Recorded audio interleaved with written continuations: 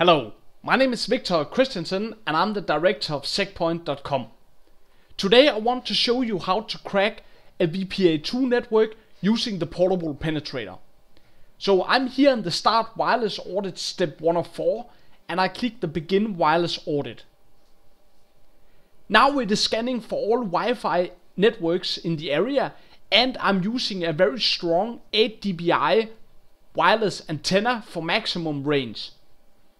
We can see here it will refresh every 15 seconds until I stop the scanning process and this allows you to walk around inside a building or outside with a portable penetrator and then it will update the networks wherever you go. Now the output is being generated and we can see the list here. It has all the information. It has the MAC address of the target network, how many users are connected, the type of encryption used, the signal power, the channel information, and the network name SSID. Now I will scroll down in the list and click on Stop Scan and select Network. For legal reasons, of course, you're only allowed to attack your own wireless network or your customer's network if you have gotten the permission to do a pen test. In this test here, I have my own router called VPA router. It's running on channel 1 and it has one user connected.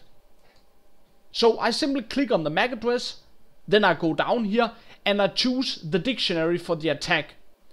I can choose the all languages that is almost 20 million words or I can choose the big word file that is close to 130 million words.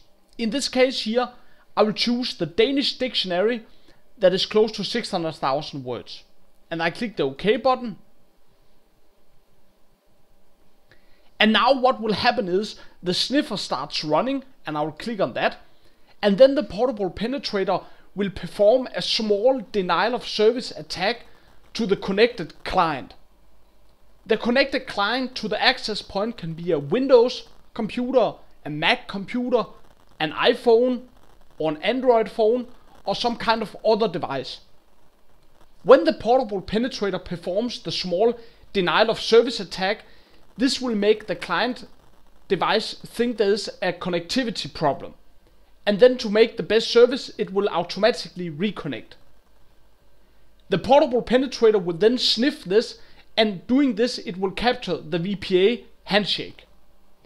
To capture the VPA handshake, this can take anywhere from a minute to a few minutes or to 10 minutes, depending on how fast the client will reconnect and how close you are to the target network. We can now see the VPA handshake has been captured and the password cracker has started.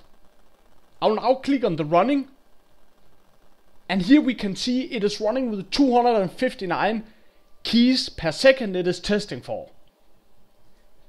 This portable penetrator I'm using here is the PP3000 Netbook Edition. This is a very affordable solution.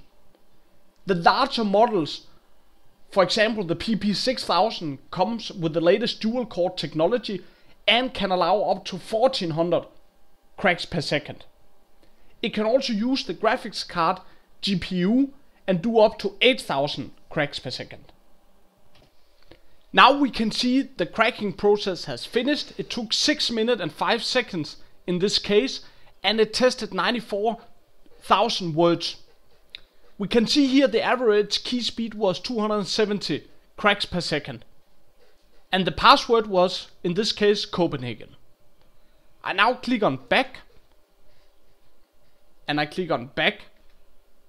And now we can see here on the list of wireless audits that it says Copenhagen here. We can also see I have done some VP tests. And to see the VP cracking process, please see the videos. Thank you for watching this presentation and for more information please visit segpoint.com. Thank you.